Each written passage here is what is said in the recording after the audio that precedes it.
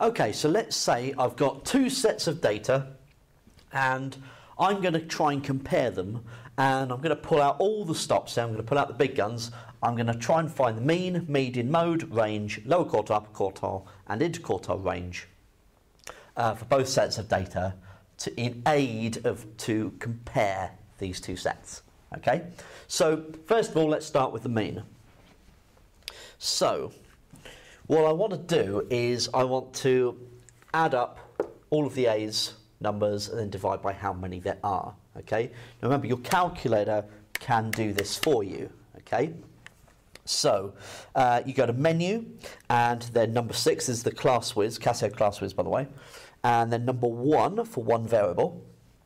And you're going to want to type in those numbers. So 2, 2, 5, 6, 9, 10, 11, 14, 15, 18, and 18. Okay. Then you can press Option and then number three, one variable calc. Okay, and it gives you all the information that you actually need. Okay, so uh, the mean here is 10. Now, it also calculates for you all of this other these other bits of information as well. Okay, if you scroll down, okay, uh, just so that we're clear on how we can find these things. Okay, uh, just by looking at the set of data, the median will be the middle value. So we've got 1, 2, 3, 4, 5, 6, 7, 8, 9, 10, 11 bits of data. So halfway will be the sixth. 1, 2, 3, 4, 5, 6. So there is your median value, which will also be 10. Okay, and you can read that off from your calculator as well. The mode, the most occurring number here, uh, well, we've got 2 and we've got 18. So we've actually got two modes, 2 and 18. The range is the largest, take away the smallest, so 18 take away 2, which is just 16. The lower quartile is the median of the lower half, ignoring the median there, so the median of those five numbers. So there's your lower quartile, which is going to be 5. And your upper quartile is the median of the top half, excluding the median, so that's the 15. So the interquartile range will be 15 take away 5, so 10. Now for the second set of data, and obviously you can get the uh, median value there, the quartile 1, which is the lower quartile, quartile 3, which is the upper quartile, all from the calculator. Okay, so it's got that data for you. So now we want to type in the second set of data. So go to menu, number six, one variable again. So we've got 2, 5, 5, 6, 6, 10, 14, 14, 15, 15 and 18. So then option number 3 and we can read off the mean again is 10.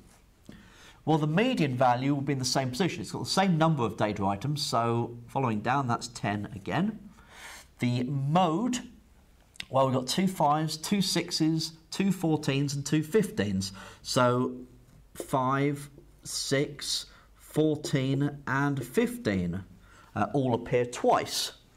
The range is 18 take away 2, so 16 again. The lower quartile's in the same position, so that's 5. The upper quartile's in the same position, so that's 15. So the interquartile range is the same. Okay, so this is our picture.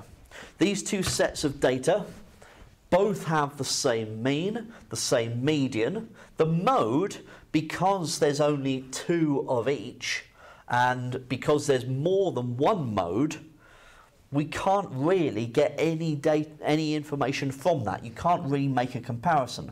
So the mode's out, really, that's no good. Range is the same, lower quartile, upper quartile is the same, and hence the interquartile range is the same. But clearly, these two sets of data are different because they've got different numbers in them. So what I'm using this example to then show is that in this peculiar case, none of my comparison methods that I currently have have produced any results. I've got nothing that I can really compare them against because they're not precisely the same, okay, um, as sets of data, because I can see that, but the averages and the uh, quartiles that I've found are. So what this is leading on to is what we look at in the next video, okay, where we need a new measure of how spread out the data is. And that introduces us to the standard deviation. And I'll show you how we get there in the next video.